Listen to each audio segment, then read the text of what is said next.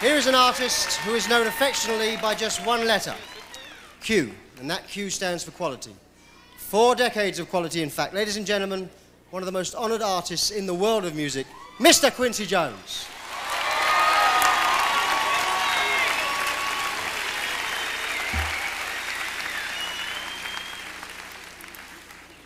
Thank you. While it may be a cliche to say that music is a universal language, it's also true that every now and then there's one special record that seems to say something to everybody. This year, that record and the artist who recorded it are Billboard's number one world singer and number one world artist. She sets a new record this year by winning 11 Billboard Music Awards.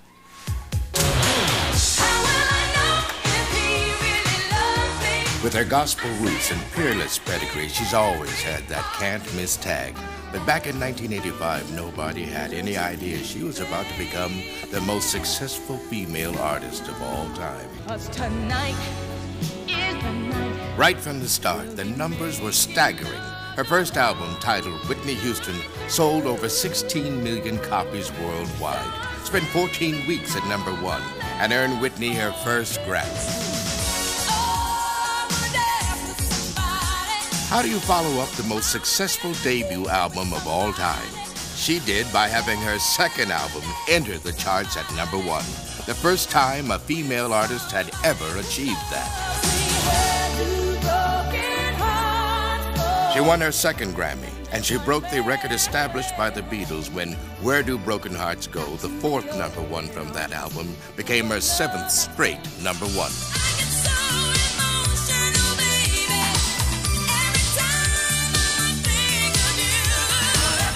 1990, the incredible run of success resumed when her third album yielded two more number ones.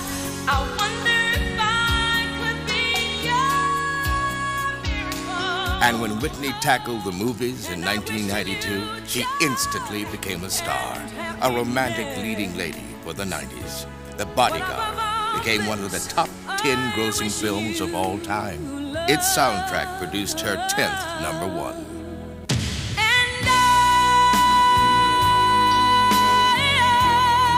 I Will Always Love You set another record by spending 14 straight weeks at number one. It is the biggest selling single in history by a solo artist. The album has sold over 24 million copies.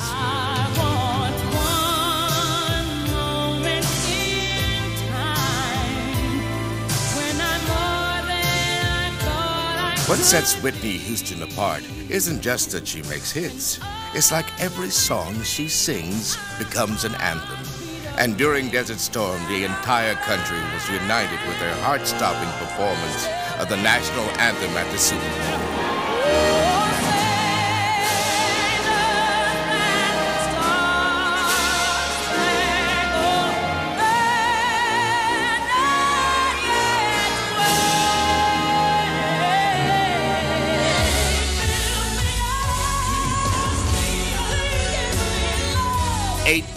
At the top.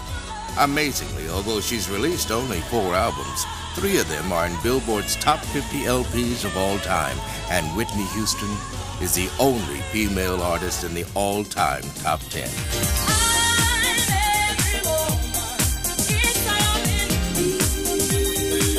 Since her first solo record in 1985, at least one of Whitney's albums has been in the charts for over 350 weeks. That's seven years. Much of that time has been spent at number one.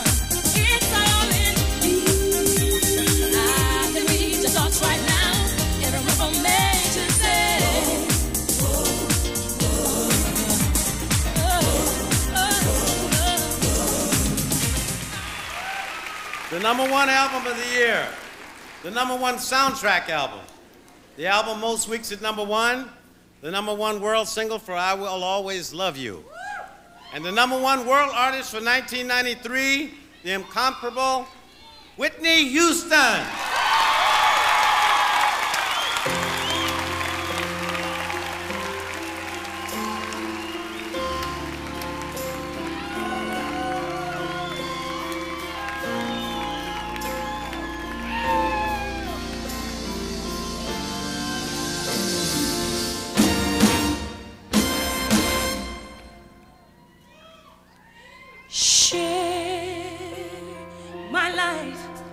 take me for what I am. Cause I'll never change all my colors for you. I said, take my love, I'll never ask for too much, just all that you are and everything that you do. You, I don't really need to look very much further. I don't wanna have to go where you don't follow. I won't hold it back again. This passion inside, I can't run from myself. There's nowhere.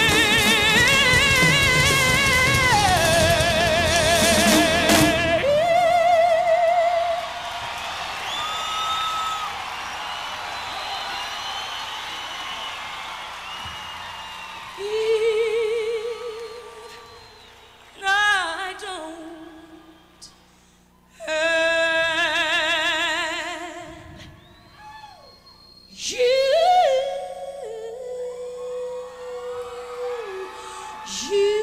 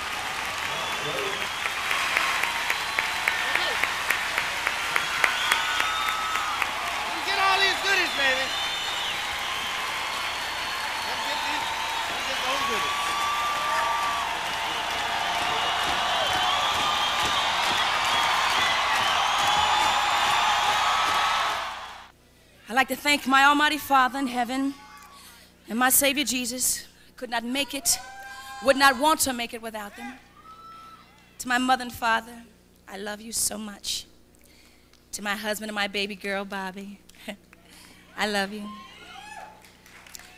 Um, to my, I love you too. Thank you. I love you too. Thank you so much. To my management, um, my dad, Robin, Sheldon, Jerry, everybody at Nippy Inc., I thank you. Thank you, girl.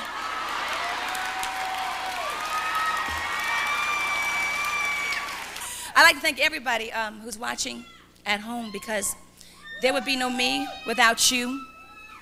I'd just like to thank everybody. God bless you. thank you. Thank you, Quincy. I gotta go. Thanks.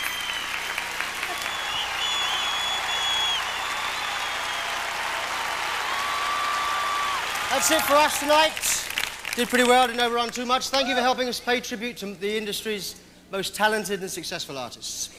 And remember, whatever holiday you celebrate, there's no better gift than the gift of music. Or more specifically, my CD. It's available in all record shops everywhere. See you next year. Good night.